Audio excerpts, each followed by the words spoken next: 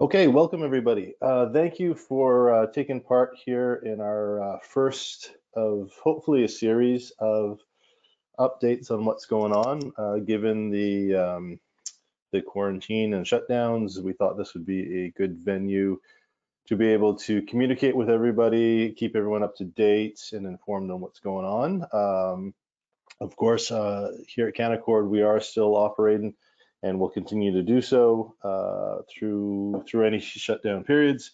Uh, we, as an industry, uh, have been remote access for many many years, and in fact, we have very resilient um, off-site operations that came into effect, especially after 2001, and still uh, remain up to date. And the technologies uh, working perfectly even through this type of event that we're seeing today. So as we get started, uh, I apologize, this is new technology for me, and uh, many of you who have seen me present in the past, I am a French background and I'm used to talking in my hands and seeing people, so this is a little different. So I'll try to, uh, to keep you entertained and uh, informed as we go through here. Uh, before we get started, just some housekeeping. Uh, for questions, we do have all the mics muted on your end, so you don't have to worry about if you're uh, at your desk or your dog or pet is in the background, or in my case, my children are in the background. Um, we won't hear any of that. Uh, we will be doing questions uh, mostly at the end, but I will keep an eye out if there's things that come up through that need to be addressed. Uh, and you can easily uh, type your questions. You should have a toolbar on your screen.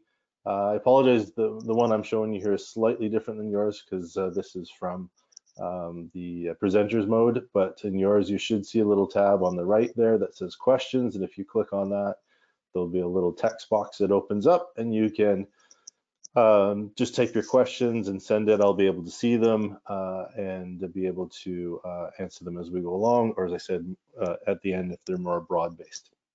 So that's just as far as questions go. Uh, and uh, by all means, uh, as you, most of you know me, I'm fairly informal with these things. Uh, any questions you might have. So today we're going to talk about uh, what's going on in the world. For those of you who don't know me, I'm Michael LeBlanc. I'm a director and senior portfolio manager at Canaccord in Vancouver. and I help run portfolios for individuals and corporations building their wealth. So we're going to talk a bit about a few different topics. First of all, what's going on with this COVID-19 and how it's impacting the world, more specifically the investment markets. Uh, we'll talk about what's going on in the markets currently, and then also where we see opportunities and how to, to uh, capitalize on those things within portfolios. So COVID, uh, as I've always said in my messaging, uh, the markets generally do not like uncertainty. And what COVID has brought is a lot of uncertainty, uh, not just to the financial markets, but to uh, the population in general, which has caused a range of uh, reactions, everything from we're seeing in some areas where people are just living life normally, uh, as we saw in Florida, maybe going a bit overboard, um, even here in Vancouver, I've seen a lot of the parks uh, being uh, packed uh, with individuals uh, socializing, hanging out, playing sports, um, not really doing the social uh, distancing. Uh, to the other end, where we're seeing grocery stores being sold out and the panic side of things. Um, markets don't like that uncertainty either, just as much individuals don't like uncertainty in their lives. Uh, so the number one thing we have to, the markets have to see is uh, where this is going to end. Like, how many people are going to be affected? What type of controls are in place? And we're going to talk a little bit more about that. Um, and right now, um, just as by by way of qualifier, uh, we're seeing uh, an extreme from different places, uh, from like Italy to uh, South Korea. So uh, a broad range. Uh, fiscal and monetary clarity. So governments around the world are stepping up their fiscal and monetary stimulus to try to offset the economic impact of COVID. Uh, we're definitely uh, in the US, we've already seen a couple of interest rate cuts. Uh, there's new bills in front of Congress right now uh, to add even more um, stimulus into the uh, into the economy, including uh, one-time payments, low interest rate tax exemptions, and so forth. Canada, we're seeing the same thing. Um, new powers being given to um, the government to make changes to taxation. We've already seen a few. Uh, of course, our tax deadline has moved, moved to June 1st. Uh, the government has reduced the um, minimum uh, RRIF payments for 2020 uh, uh, by about 25%. So people don't have to take out as much from their savings if they don't need to. Uh, and we can expect more along the way. But the, the markets are certainly waiting to see more clarity around what different actions we're going to see from our governments, but also the governments around the world, uh, as we're seeing in the UK and, and the EU uh, acting on these things as well. And of course, the vaccine, a lot of talk about vaccine. Uh, and I, there's two things we hear a lot about, uh, and I do tell, do recommend everyone try to look at reliable sources because uh, part of our job here is to stay on top of what's going on. And there is a lot of opinion uh, out there as opposed to necessarily facts. And uh, uh so when we talk about vaccine, that's a vaccine, uh, much like you would see in your, your, your flu vaccine. Although this virus is a different type, so the vaccine is slightly more complicated. Um, I won't get into, I'm not a medical profession, I've just been reading. Uh, but uh, because of the the the um, coronavirus, so you see that picture in the news all the time with the corona around it.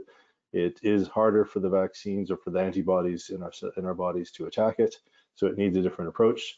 So the experts are saying 12 to 18 months, and then we're also looking at different uh, companies are looking at cures or treatments, uh, and those ones are a bit further ahead uh, simply because um, they're, they're trying to look at repurposing current uh, medications that were in markets uh, or developed for previous versions of corona um, or similar type of viruses. So those are two things that uh, are actively being worked on.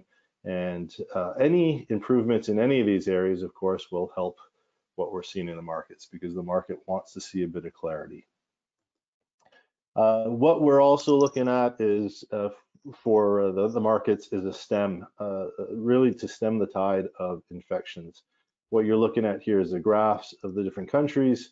Uh, the, the big one being China, of course, the first one to enter into this uh, and come out of it. And, and, what we mean by coming out of it is zero new cases reported in a 24 hour period. Uh, they're essentially uh, people are recovering from it uh, much faster than people are getting it at this point. So the number of infected are on the decline.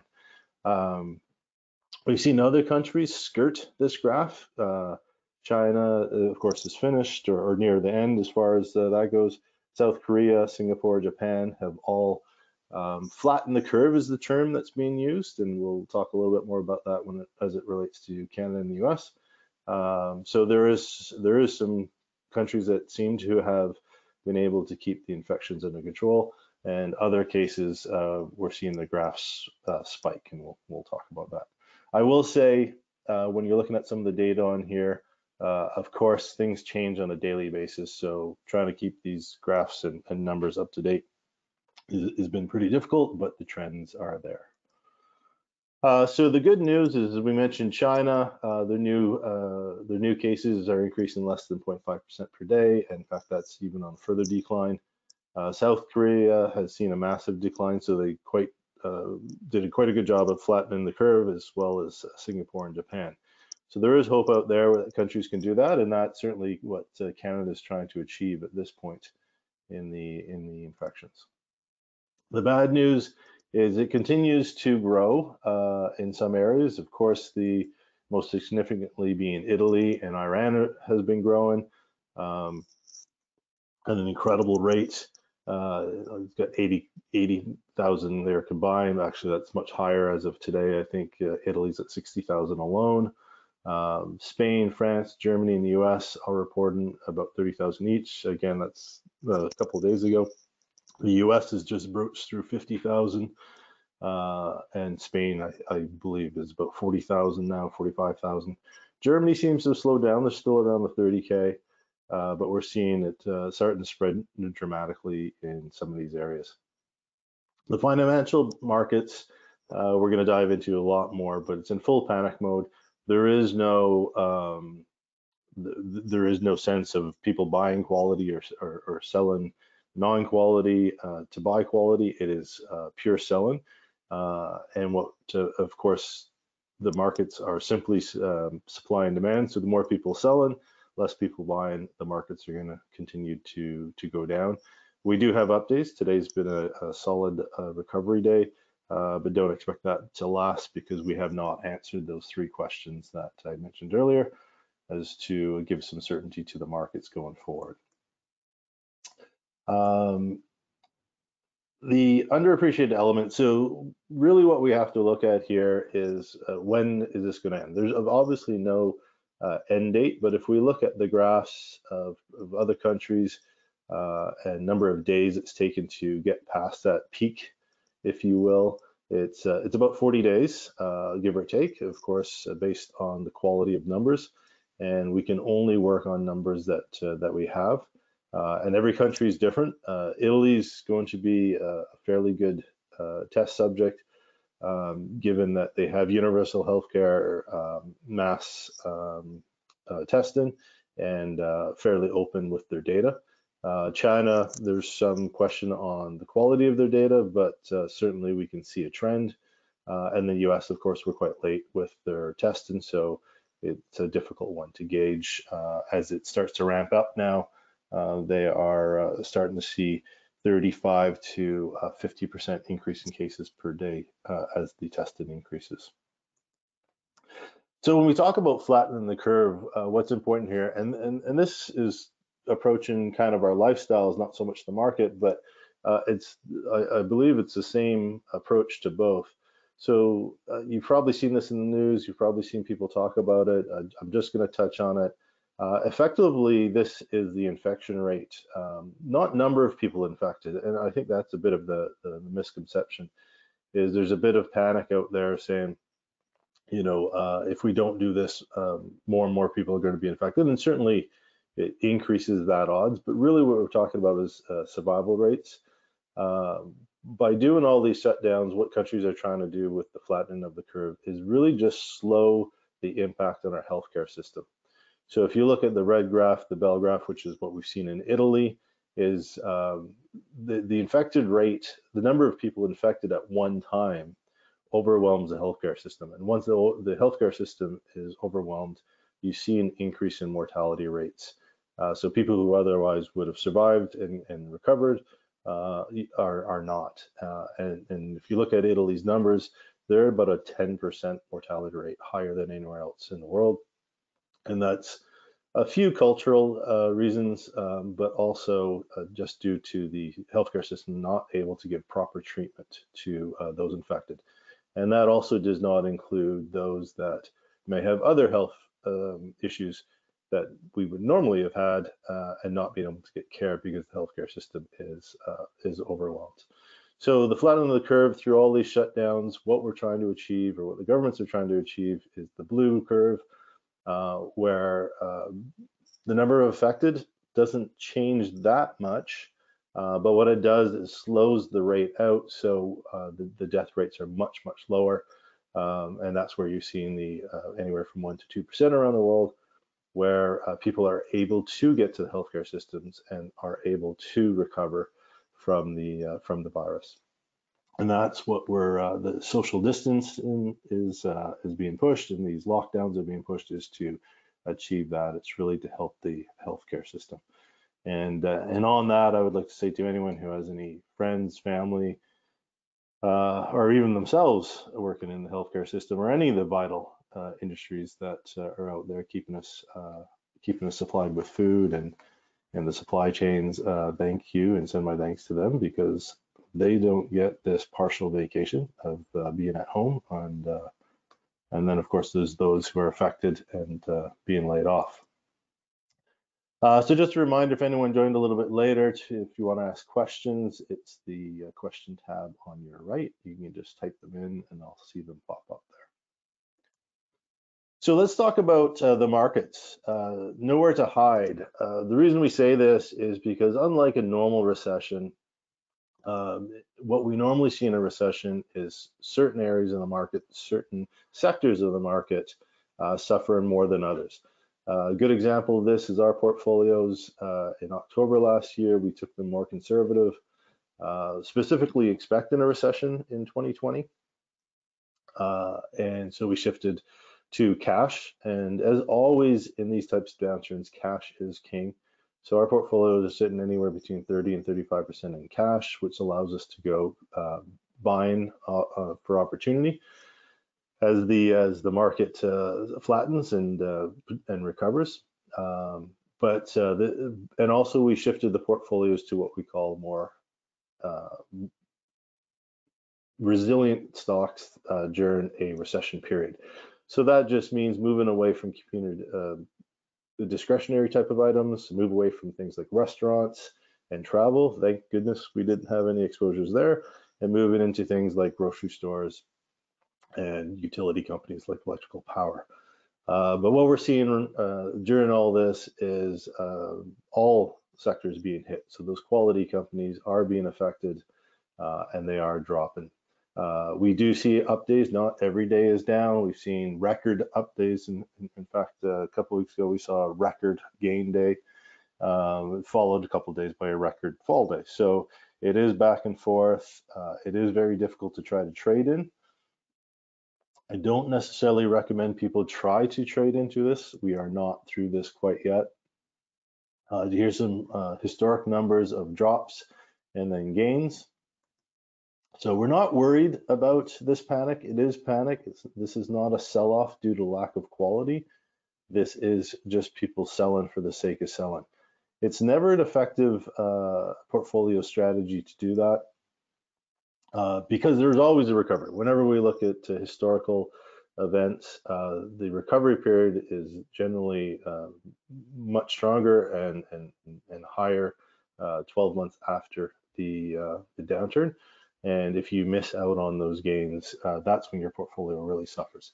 That doesn't mean not doing anything. Uh, certainly, we have to look at every position within the portfolio to decide uh, which ones are going to be the best to recover and which ones are, are managing the best during this downturn. And again, previous uh, bear markets, how quick to recovery, uh, how long it will take from uh, peak to trough, and then how long it takes, how many days it takes to recover. I do believe this will be a fast recovery once uh, we get the market stabilized, uh, because there are those quality quality companies out there that uh, are not losing money, they are not being impacted, uh, and they continue to operate. And we'll talk a bit more about that in, in the third part here. Why we tell people not to panic and not to necessarily sell during these periods. Uh, this is the graph that comes up in every downturn, uh, and it is a very powerful one and, and it's very impactful. Uh, and it just shows how the rate of return of your portfolio can be affected if you miss uh, just a few days of those up days. So, you know, this is just showing you um, this would be 500, the broad index, uh, that, you know, if you missed, uh, you know, just 10 days of uh, 10 of the best days during that uh, that time period, you could uh, underperform by two or three percent versus the 11 percent that the market uh, market performs. And you never know when those days are going to come. So if you own quality, I suggest you stick with it and, and wait out those days because the better quality you have, the faster it is going to rebound into the market uh, rallies uh, as opposed to um, you know, some things will take longer, and uh, that's why uh, analyzing your portfolio is really important.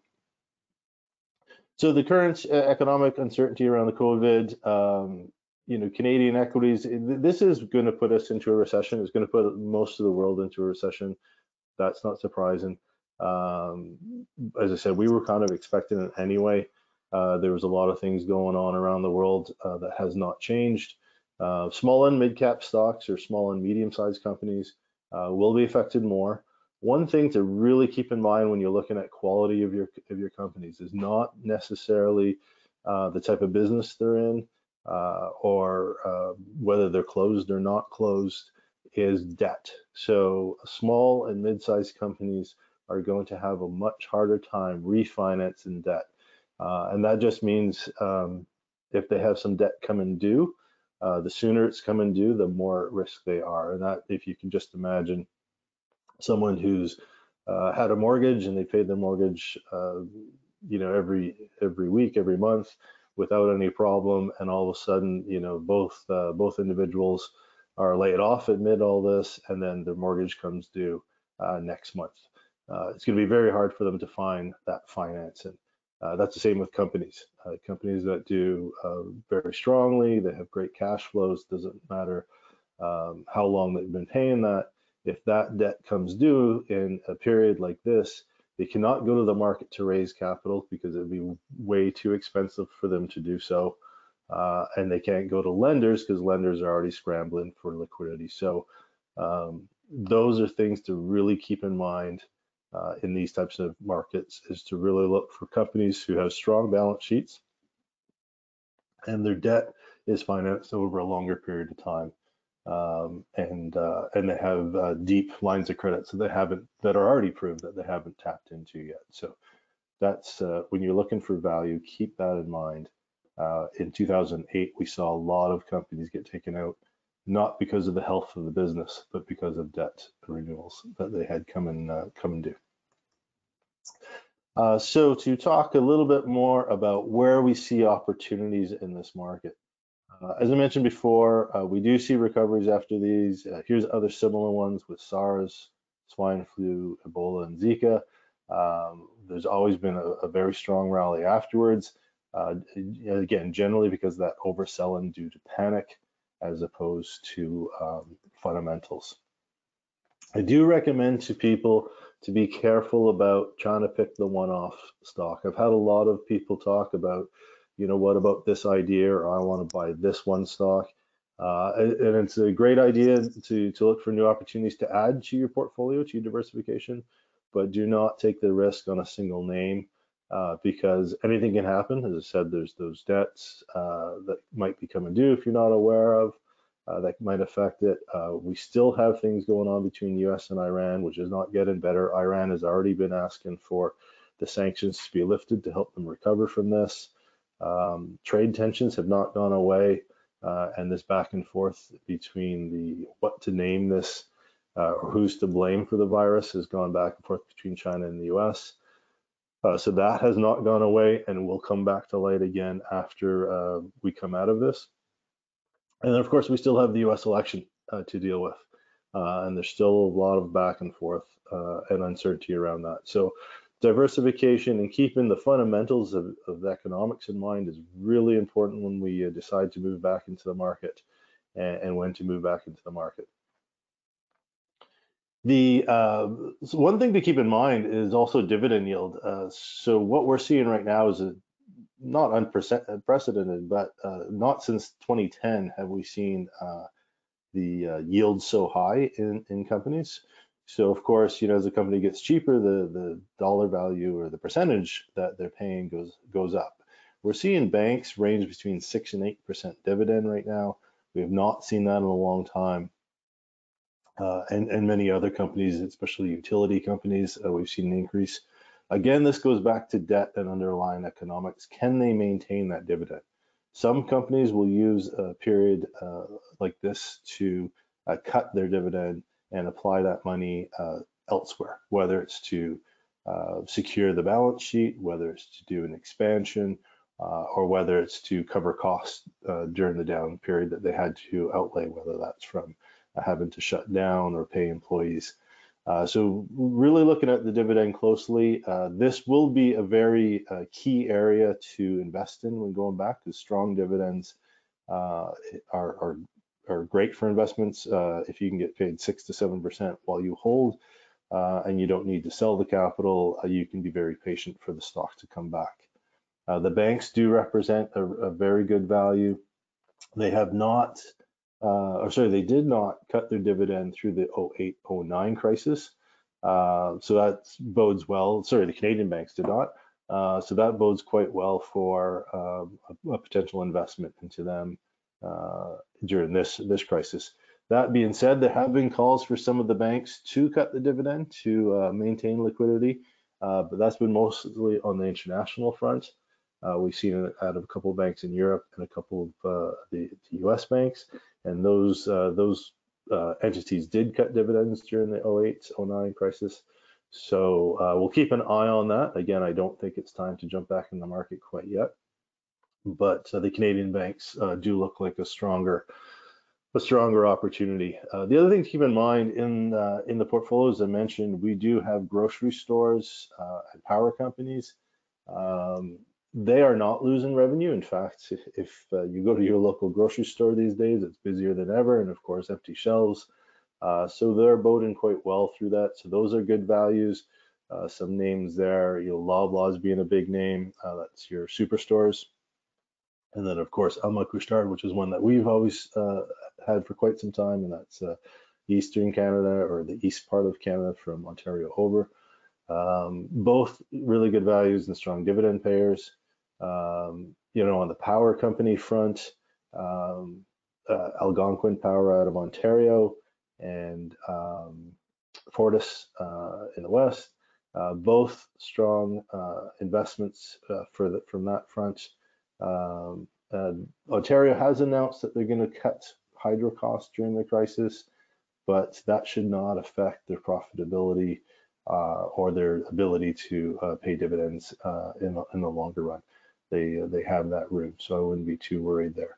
But those are things to keep in mind for the portfolios. You know, other areas to look at that we already have in the portfolios, we have Johnson & Johnson and Procter & Gamble, of course, supply all your soaps and tissue and, and, and uh, paper products. Uh, 3M, which makes all the medical masks, gloves, and, and, and suits. Uh, there, there are a lot of uh, strong areas to look at. I've had people question about Amazon. Of course, people uh, purchasing online and not going out. My more favorite play, which we already have in the portfolios, are Visa and MasterCard. Uh, as I always remind people, they do not own any debt. Their revenue is strictly from when you tap or swipe. Uh, they collect a fee uh, and as more people are uh, are shopping online and even in stores, you'll you'll notice that a lot of them aren't taking cash right now for the uh, spreading uh, of the, the, virus standpoint. So those two companies, even though they've come off their highs, are still uh, amazing companies to own, and I recommend them in any portfolio. Uh, and we might look at added more.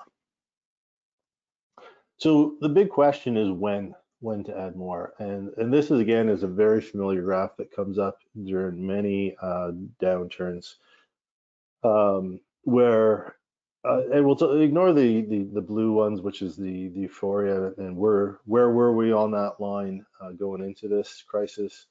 Um, it's hard to tell uh, because we've kind of artificially created a, uh, a, a recession or, or, accelerated the recession with the, uh, with the virus. But what we're really seeing is the the yellow dots there. We're, we're seeing the anxiety and the fear and the panic. Uh, that's where we're seeing the selling. Despondency is when people give up and stop selling. They just say uh, it's too low to sell. It's sometimes called capitulation. They just say that's it. I'm I'm, I'm not going to sell anymore. Uh, I will caution people to get caught up on today days like today where we're seeing a rally. Uh, it's been ranging between eight and nine percent on the upside today uh, for the Canadian markets and similarly in the US markets. Um, they're often called what we call a dead cat bounce or a false rally. And that's where the sellers slow down, so the panic starts to ease off a little bit, and the buyers start to jump in thinking it's over. Uh, so we'll see the big jumps up because the buyers are outweighing the sellers. But what ends up happening very, very often and multiple times in these kinds of uh, corrections is the sellers see the, the price go up a bit and then they start to panic again saying oh it's it's high enough i can start selling again and then we see the the, the downturn really we have to get through those first three things. So we need clarity on the the government assistance programs. We need clarity on uh, the viruses uh, projection uh, projected and clarity on what comes next as far as the treatments and cures go. Uh, we probably won't see that clarity uh, for at least uh, another month or two. The big one outstanding, uh, and this goes a little bit to uh, my opinion and our analysts' opinions, is we have to see the US's numbers uh, start to stabilize because the US is the outlier here and two factors. One, it's a big population and it's a big economy. So if we see the US uh, start to model after Italy, which is call it your worst case scenario, then we're not through the worst of this yet. Um, if we see the US flatten the curve uh, somehow um, or skirt the curve a bit, uh, then we could be getting close to the end of it. Because of the size of the economy, uh, the markets will react depending on how the US com, uh, progresses here. Their curve is starting to sharpen. It's not in the Italy mode yet, but it's certainly not flattened yet. So it's going to take a bit more time before we see that despondency in the market or that capitulation in the market where the panic buyer sellers rather are out and then we can start buying on quality. No one's ever going to pick the exact bottom. That's not uh, that's not this exercise. Uh, it's to buy really good quality at a really good value. And that opportunity is actually going to open up here, probably one of the best uh, we've seen in um, in a generation as far as uh, value to quality that's going to open up as far as uh, the portfolio's opportunities. So we do see that. We don't see it for uh, several more weeks uh, to possibly two months. Again, we'll be closely watching uh, the US curve to, to see how they go.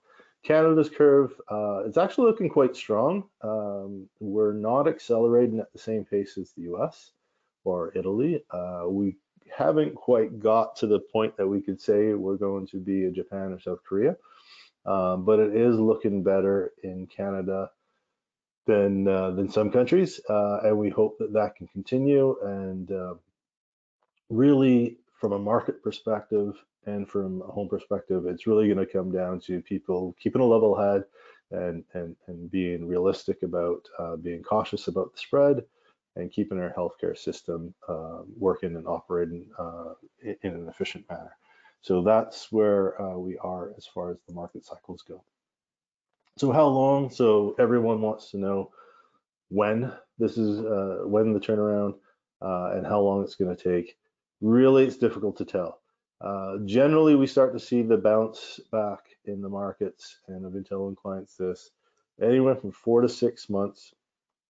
Like I said, I do expect for the quality uh, and companies, and maybe not indexes. You know, the news talk about indexes, um, not necessarily indexes, but the quality companies within those indexes, four to six months after the crisis, and it won't be over, but it will be uh, we'll be at the, the, tail end of the curves. We'll we'll start to see the recoveries outpace the infection infected rate and the uh, the number of deaths ease off. And so when our healthcare systems are handling the volumes, um, we'll start to see uh, things lighten up in the markets, and we'll uh, anywhere from four to six months after that, we should see a strong rebound uh, in those quality companies that have been able to continue to um, uh, plod through that.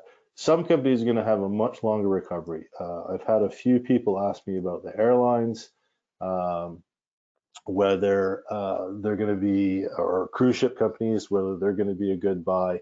I would not, I'm generally, so I'll, I'll caveat this, I'm not a airline fan to begin with. I think Warren Buffett said it best that if you put the whole industry together, since Kitty Hawk, it has never made money.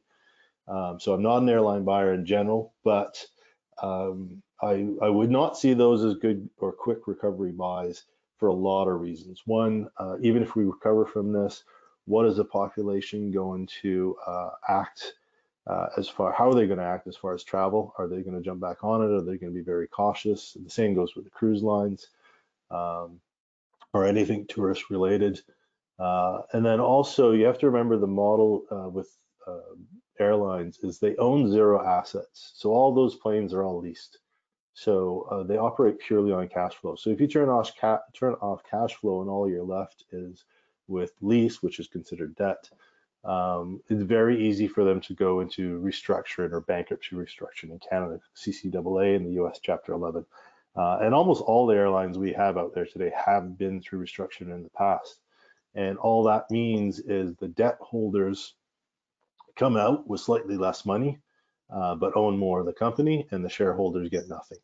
So I, I, would not be looking at those. I do expect there to be uh, there to be restrictions in those in those industries uh, heavily, uh, and I wouldn't recommend people uh, kind of uh, take a look at those as a speculative play. It would be a very long shot that you picked one that manage to avoid a restriction. And there will be some that will, but um, it'll be very difficult um, in, in the, in, the, entire travel industry, even if there is some sort of financial support from the governments uh, for those uh, for those companies.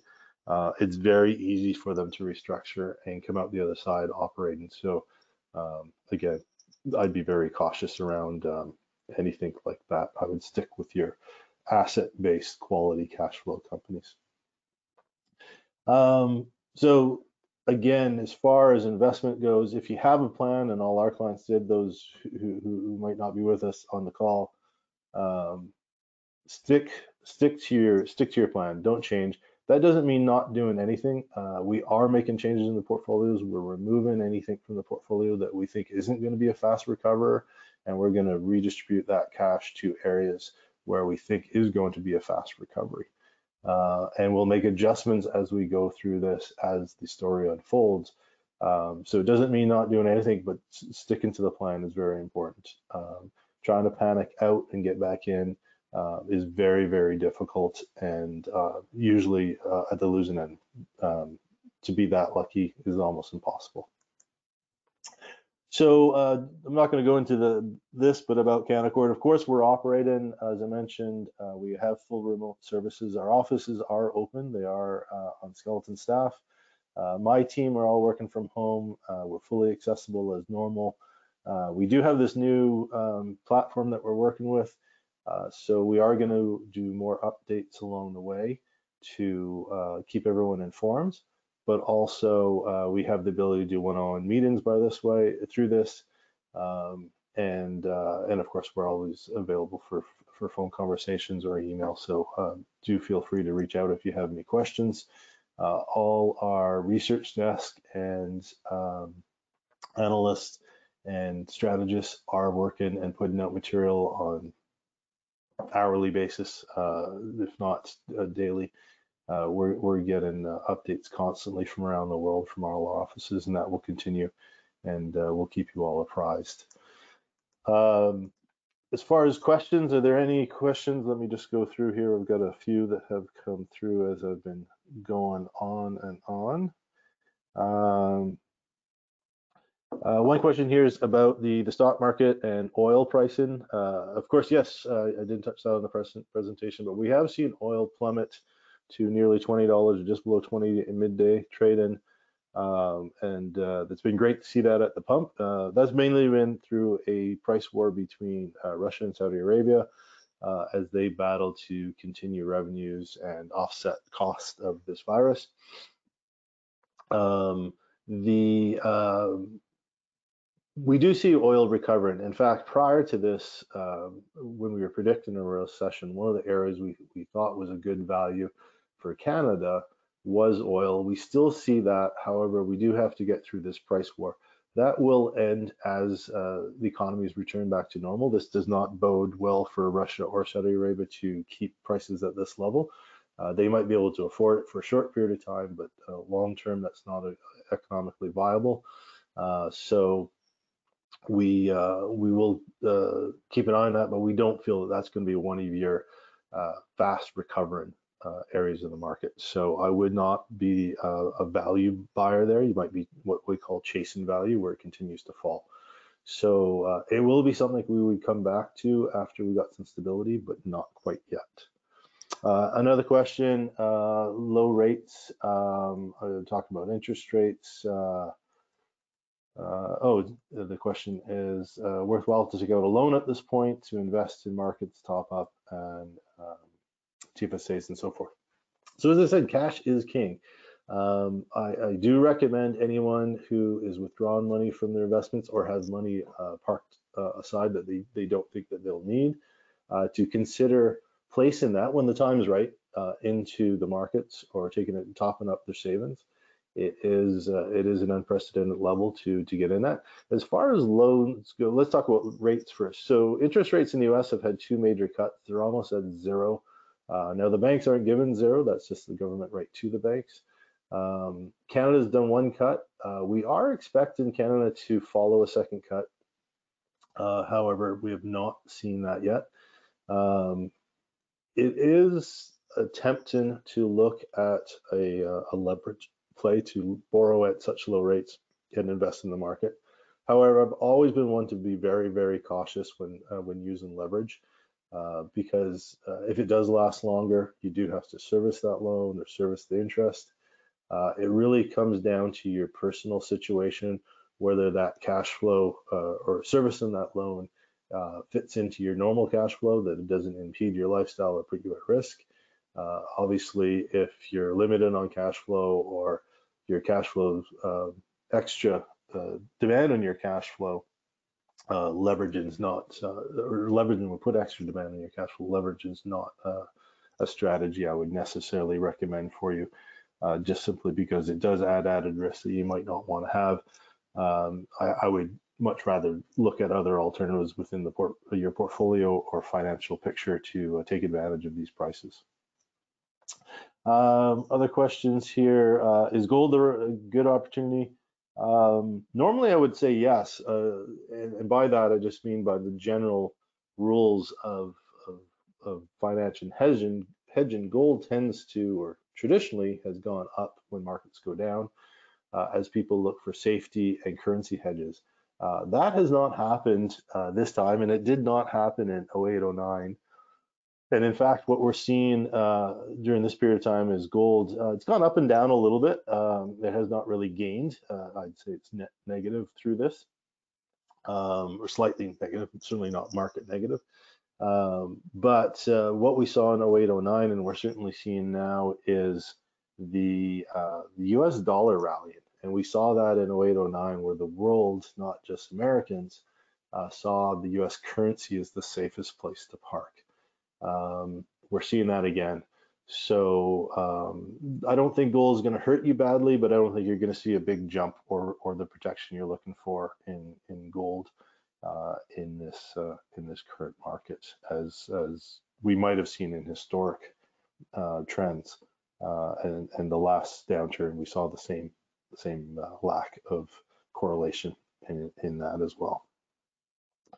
Uh, I'll do one more question here. Let me just go through. Um, uh, what kind of asset allocation uh, would you recommend during the period uh, to play defensively? Uh, well, again, you know, this goes back to uh, what I was mentioning, really looking in your portfolio for quality. sticking to your, your asset allocation that is, that is suited for your goals um, is, is, vital during these periods, not panicking and, and switching. Making a change at this point uh, you know, some people might have a more aggressive or what we call a growth strategy, and then we'll want to, um, you know, get a little uh, gun shy here and, and go more conservative. Uh, I would not say now is the time to do it. Uh, those are those types of changes are um, really geared towards um, times in the market when you're up. You can you can shift. I would wait it out and stick to your strategy. The individual positions within there, of course, have to be analyzed to make sure they're the right ones. Uh, but I would stick with a growth strategy uh, through this until recovery happens, and then reanalyze your situation for uh, next downturn uh, to make sure that you don't uh, you don't put yourself under undue stress. Uh, those who are conservative, who are thinking about growing growth, again, it would be individually based. we'd have to really go through and say, is that the right thing to do? Um, uh, it could be uh, if you've got that room and time horizons uh, to, to, to step things up a little bit and um, take advantage of these these uh, lower uh, pricing in the markets. Um, so uh, so hopefully that answered a lot of questions and, and kind of gave people a good picture of what's going on. I am going to do more of these going forward as things unfold. so please stay tuned uh, look at your emails. We're going to try to keep everyone up to date. And by all means, uh, if you have any questions, uh, feel free to reach out on a one-to-one -one basis. We're, uh, we're happy to answer them.